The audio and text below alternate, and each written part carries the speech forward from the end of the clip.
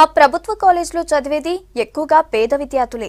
కేవలం భోజనం కారణంగా వాళ్ళలో ఏ ఒక్కరూ కాలేజ్ మానేయొద్దని నిర్ణయించారు సిర్పూర్ ఎమ్మెల్యే కోనప్ప.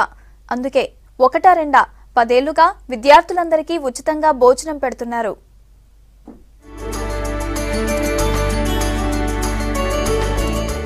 ఇది సిర్పూర్ నియోజకవర్గంలోని కాగజ్ నగర్ దహేగాం కౌటాల బెజ్జూర్ మండలాలకు చెందిన ప్రభుత్వ జూనియర్ కళాశాల. ఇక్కడ దాదాపు రెండు వేల మంది విద్యార్థులు ఇంటర్మీడియట్ చదువుతున్నారు. ఇక్కడికి దూర ప్రాంతాల నుంచి వచ్చే స్టూడెంట్సే ఎక్కువ.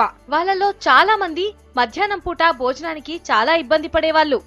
దగ్గరలో ఉన్న వాళ్ళకు కూడా ఇంటికి వెళ్ళి రావడానికి టైం వేస్ట్ అయ్యేది. విద్యార్థుల ఇబ్బందులు గ్రహించిన సిర్పూర్ నియోజకవర్గం ఎమ్మెల్యే కోనేరు కోనప్ప సొంత ఖర్చుతో మధ్యాహ్నం భోజన పంపిణీ ప్రారంభించారు. కోనేరు ట్రస్ట్ పేరుతో ఈ కార్యక్రమాన్ని ఏర్పాటు చేశారు. ఎమ్మెల్యే భార్య కోనేరు రమాదేవి వంట చేయించి భోజనాన్ని కళాశాలకు పంపుతున్నారు. ఇక్కడి విద్యార్థులకు భోజనంలో మూడు రకాల కూరలు పచ్చడి పెరుగు అరటిపండు కూడా ఇస్తారు. ఈ కార్యక్రమంలో తమకెంతో టైం సేవ్ అవుతోందని కొంతమంది విద్యార్థులు చెప్తుంటే పేద పిల్లలకు ప్రయోజనంగా ఉందని మరికొంతమంది చెప్పారు.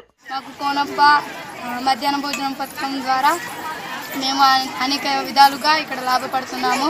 మేము దూర ప్రాంతం నుండి రావడం వలన మాకు కోనప్ప మధ్యాహ్న భోజన పథకం ప్రారంభించడం వలన మేము బాగా చదువుకుంటున్నాం. మేము గ్రామం దూరం దూరం ఉండడం వలన మేము ఎంత దూరం నుంచి రావడం వలన కోనప్ప గారు ఈ సదు సదుపాయం చేశారు. మే ఇంకా కోనప్ప గినక ఇలాగే చేస్తే మేము ఇంకా బాగా చదువుకుంటామని అనుకుంటున్నాం. ఈరోజు మేమంతా కలిసి చక్కగా భోజనం చేస్తున్నాం.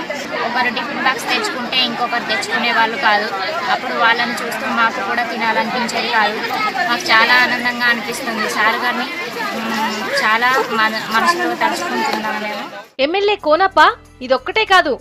విద్యార్థులకు స్పోకెన్ ఇంగ్లీష్ బుక్స్ గర్భిణీల్లో రక్త శాతం పెంచడానికి పల్లిపట్టి రాగిపిండి బెల్లాన్ని కూడా అందిస్తున్నారు. ఇక వేసవి కాలం వస్తే జనానికి అంబలి పంపిణీ చేస్తుంటారు. ఎమ్మెల్యే సతీమణి కోనేరు రమాదేవి తహసీల్దార్ వనజారెడ్డి కాలేజ్ విద్యార్థులకు అందుతున్న భోజన సౌకర్యాన్ని పరిశీలించారు. మంచిగా చదువుకొని ఉద్యోగాలలో స్థిరపడాలని విద్యార్థుల్ని కోరారు.